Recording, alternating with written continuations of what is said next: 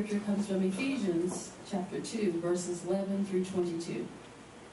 Therefore, remember that formerly you, who are Gentiles by birth and called uncircumcised, by those who call themselves a circumcision, which is done in the body by human hands, remember that at that time you were separate from Christ, excluded from citizenship in Israel and foreigners to the covenants of the promise, without hope and without God in the world.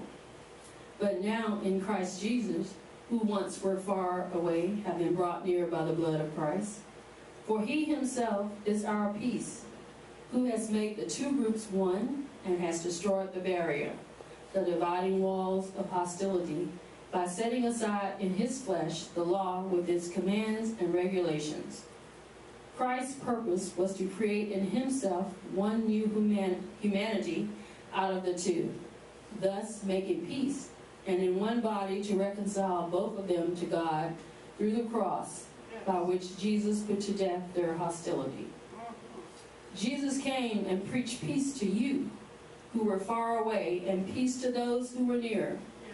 For through Christ we both have access to God by one Spirit. Consequently, you are no longer foreigners and strangers, but fellow citizens with God's people, and also members of God's household, built on the foundation of the apostles and prophets, with Christ Jesus as a chief cornerstone. In Christ, the whole building is joined together and rises to become a holy temple. And in Christ, you too are being built together to become a dwelling in which God lives by his Spirit. May God bless this reading. So today, you know, we've been talking about the value of. We've heard the value of listening, the value of support, the value of equality. Today, we're talking about the value of liberty and justice for all. Now, I don't know, that's really a pointed discussion that we ought to be having in our day, in our time.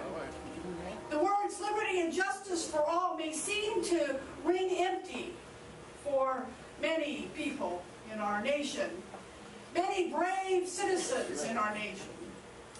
Included in our Pledge of Allegiance, it is, this phrase is supposed to represent the idea that each citizen, each person is equal under the law.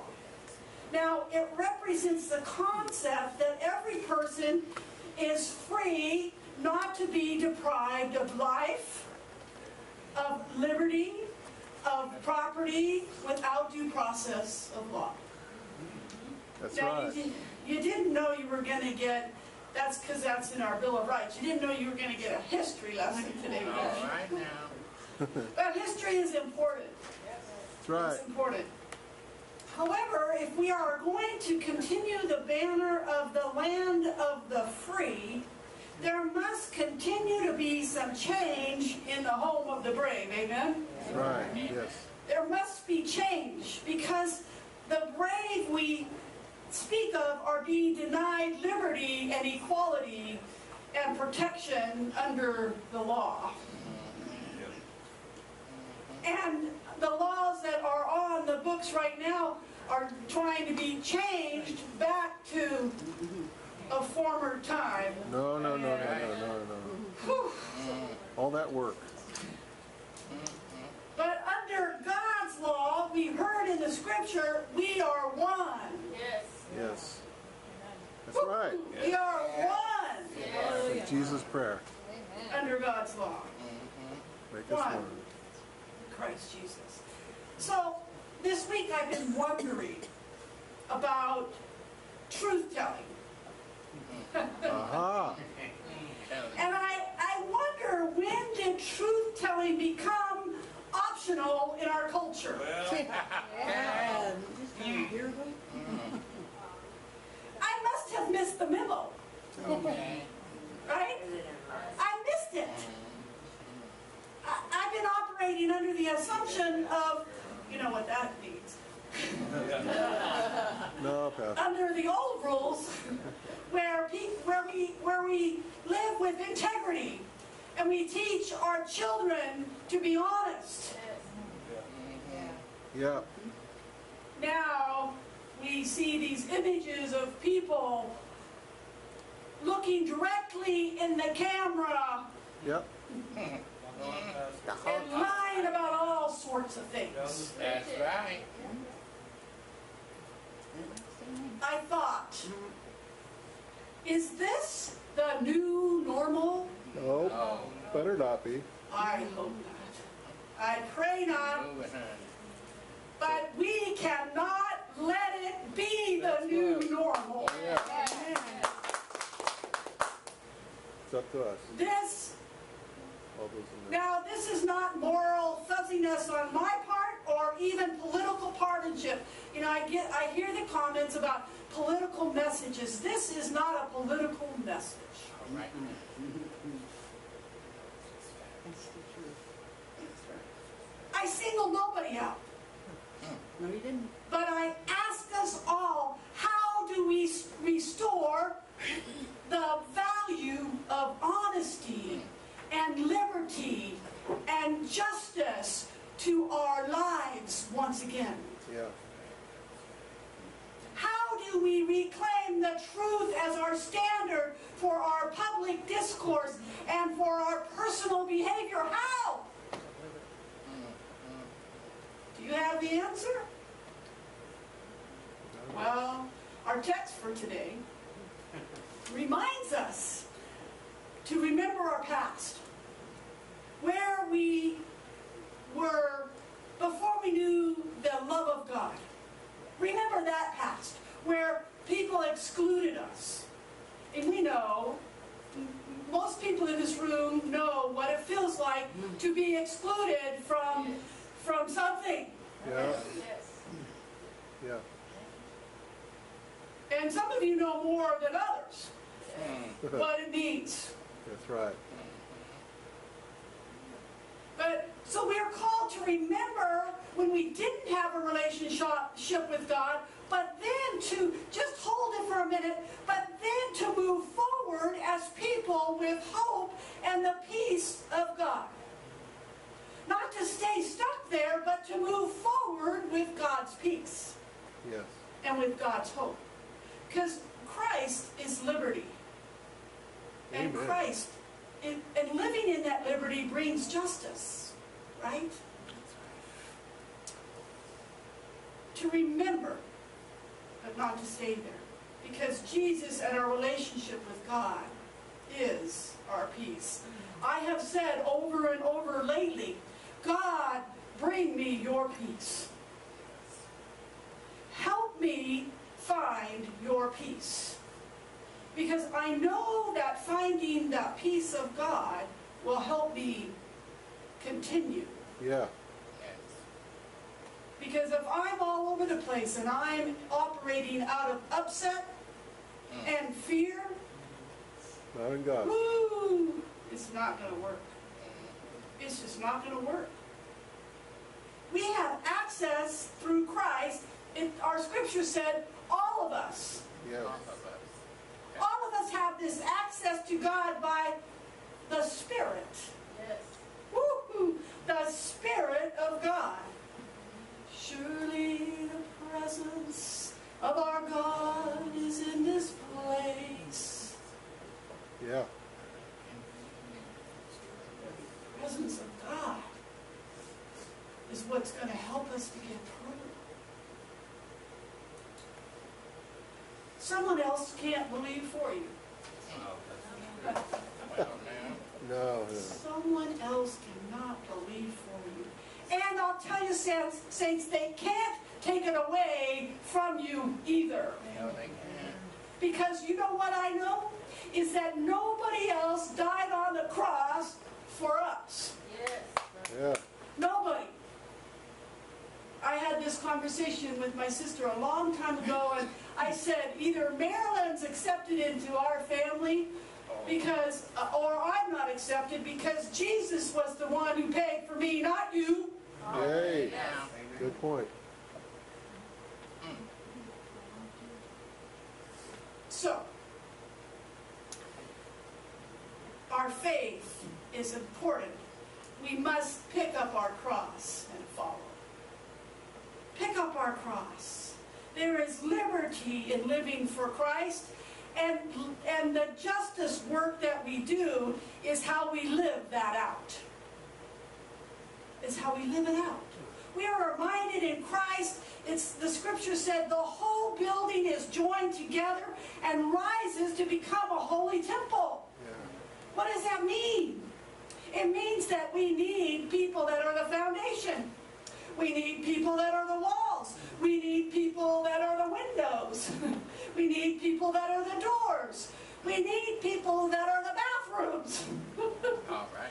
we need people that are willing to join together to build up a holy movement. Everyone is important. And in Christ, we are being built together to become this dwelling place of God. And it's, I'm not talking about the church building, I'm talking about the dwelling places of our lives. Yes, there you go. Christ calls us to build together, to join together, to work together. Listen, not to trample on people when, when they are down. Come on. Not to trample on people when they are different. I went to a training this week and one of the things that the, one of the trainers said, and this is just so powerful, hold on. Hold on. All right. If you are going to be a bridge, you want to be a bridge builder, don't get upset when people walk over you. Sweet. Well, All right. True. we get our knickers in a wad.